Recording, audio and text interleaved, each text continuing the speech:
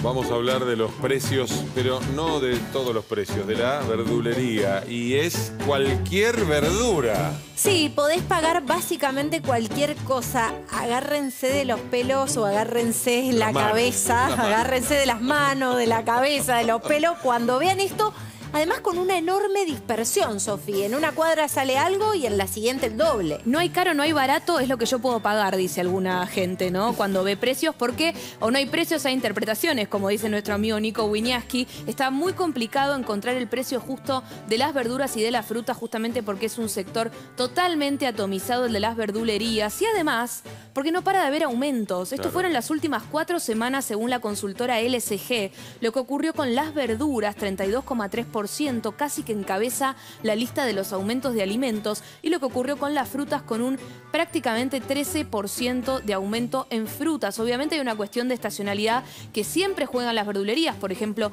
hoy la naranja está muy cara. La naranja es un cítrico de invierno. Obviamente que en verano va a estar más caro. Eso me lo decía mi abuela todo el tiempo. Hay que aprender cómo comprar en la verdulería. Y si no, pregúntele al verdulero.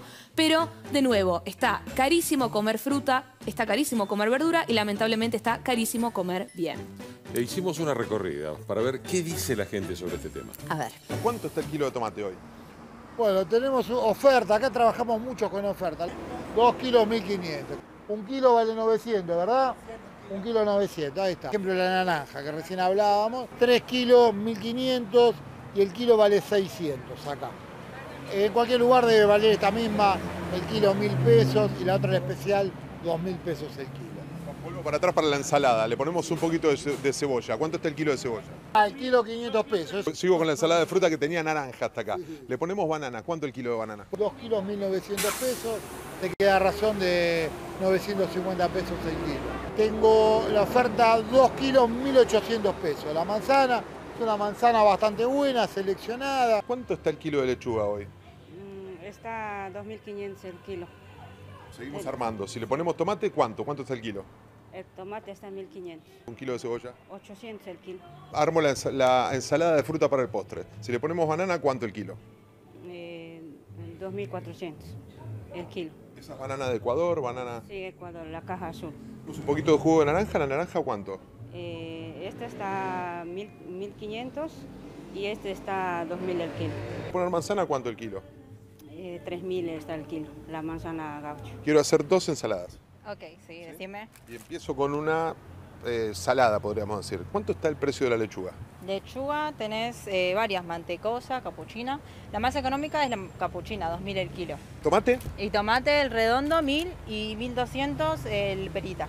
Si le quiero poner un poquito de picante, le digo una cebollita cortada finita. ¿Cuánto el kilo de cebolla? Eh, ahí la cebolla, 600 el kilo. Sigo con banana, por ejemplo. Clásico. ¿Cuánto el kilo?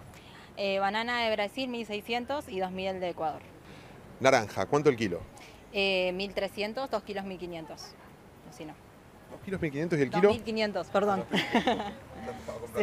¿Y la manzana? Manzana eh, en 2000 y 2800 la gaucho. Empecemos por la lechuga. ¿A ¿Cuánto el kilo? Lechuga, por ejemplo, lechuga tenés 1500 el kilo, eso depende también tenés de 1200 la capuchina, eso depende de la lechuga, ¿no? Igual la mayoría de lechuga está en 1500. Tomate, tomate tenés 800 el kilo, o si no 2, kilos 1500. Le Metemos algo divertido, una cebollita cortada en pluma finita. ¿Cuánto el kilo de cebolla? Cebolla, tenés el kilo eh, 400, 2 kilos 700. Siempre vamos haciendo precio, eh, mientras más cosas llevas, más barato. Una ensalada de fruta y empiezo por banana. ¿Cuánto sale un kilo de banana? Tenés dos tipos de variedades. Tenés banana ecuadora, 1700, que ya es la premium, ¿no? Después tenés otra opción que son muy lindas también, a 1200 el kilo. ¿Cuánto es un kilo de manzana? Manzana, eso sí está, tenés dos tipos de variedades. Tenés de 1500 a 2000. ¿Naranja? Y naranja tenés, por ejemplo, 1000 pesos el kilo, 2 kilos 1800. La fruta en realidad no está, no está tan cara. Eh, Hay que, hay que, hay que ser sincero. La, la- la fruta, así como sube dependiendo de la época o baje, en este momento eh, hay precios razonables. Hay que buscar precios. O sea que el que se mueve gana. Obviamente, exactamente, así es. No sabes a cuál ir o qué comprar en cada una, ¿no? Miti miti, ¿no? Tenés que Decíamos hacer la ensalada compras de frutas creo que salpicadas, digamos. Sí, sí. Una cosa en una, otra cosa en otra, y así le está pasando a todo el mundo. Obviamente tiene que caminar muchísimo más para encontrar mejores precios, ¿no? En el barrio, y a no desperdiciar la comida, por favor, aprendamos también métodos de conservación de la fruta y la verdura, porque se viene una picante en términos de precios en la verdulería. Bueno, y hab- hablemos de no sé, te queda un gusto, como te diste hoy en la redacción, un alfajor. Todas las tardes, mi querido Luis. El operativo alfajor. A ver, ¿cuántos me compro por mil pesos? ¿Cuántos? A ver. A ver.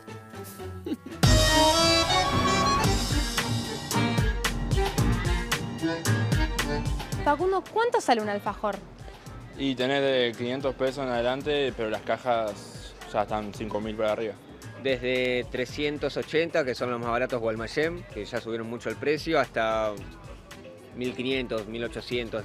Lo que más se lleva la gente y lo que busca siempre lo que es más económico es lo que es madero, que tenés 940 cada uno.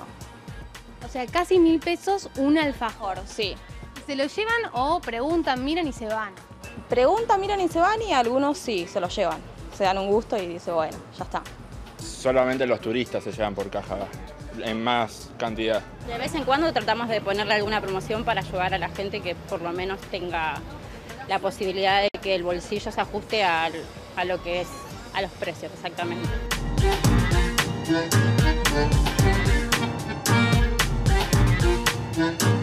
Gente que pregunta por el precio y otros que simplemente lo compran y cuando ven el precio dicen, "Mm", dudan y te dicen, bueno, lo llevo, o buscan alguno en específico como- como capitán y te llevan, pero más que nada extranjeros. En otros lugares están mucho más caros, en otros más, más baratos, depende del lugar que vayas. Está cambiando mucho los precios. Puede estar 500 pesos, 1000, eh, depende si lo compras en una estación o si lo compras en el centro, en- sobre Corrientes, sobre Florida. Todos los precios en general de todo, no hay, no hay parámetro. En un lado lo encontrás a 500, en otro a 1000, o sea, no, no están regulados. No, no hay, o sea, no, no podés comparar en ningún lado. Lo que estamos viendo hace como un mes que generalmente entran, miran los precios y se van.